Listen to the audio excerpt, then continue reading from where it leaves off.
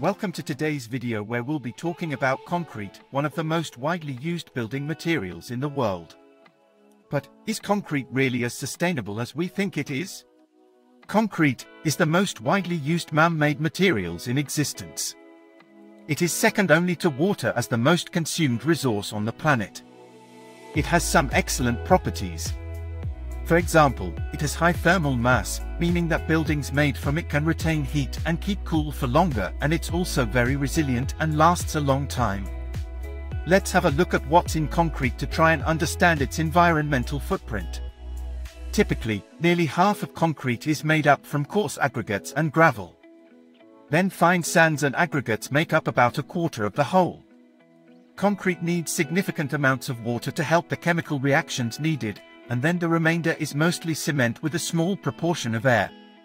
Cement is one of the key ingredients in concrete, helping bind together the other materials. It has shaped much of our built environment, but it also has a massive carbon footprint. Cement is made by heating limestone and clay to very high temperatures. This process releases a significant amount of carbon dioxide, making cement production responsible for around 8% of global carbon emissions. For every ton of concrete produced, assuming nothing special is done to change the specification, about one ton of carbon dioxide can be produced. So, how can we make our projects use concrete more sustainably? Well, the principles outlined in the PAS 2080 standard provide a great framework and a hierarchical approach to carbon reduction.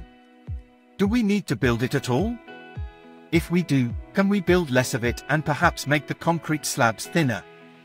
If we still need to build it, can we change the specification to remove or replace the cement with something else that has fewer impacts? And lastly, are there any new technologies or approaches and ways to reduce waste that can help reduce the impact? To reduce the environmental impact of concrete, there are several sustainable alternatives to cement. GGBS or ground granulated blast furnace slag and PFA or pulverized fuel ash are two commonly used replacements that can reduce carbon emissions by up to 80%. The materials are the byproduct of other industrial processes, so their embodied carbon has already been accounted for. This also avoids these materials being wasted and they can improve the durability of the concrete, reducing the need for maintenance and replacement over the life of the structure.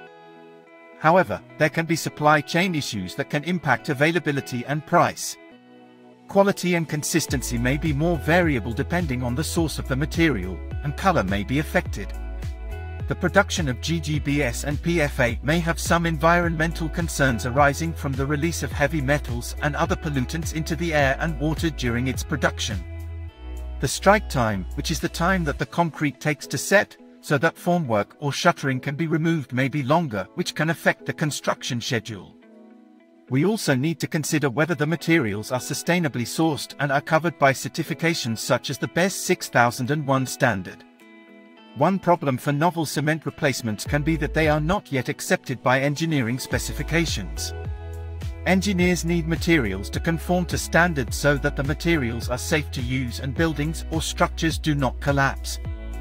Overall, the use of GGBS and PFA as cement replacements in concrete can provide environmental benefits, but careful consideration of the potential issues and supply concerns is necessary to ensure that the concrete meets the required specifications and environmental standards. Thanks for watching. We hope you found this useful and interesting, and if you did, please like and subscribe to flag this to other YouTube users who may benefit. Please feel free to leave any comments.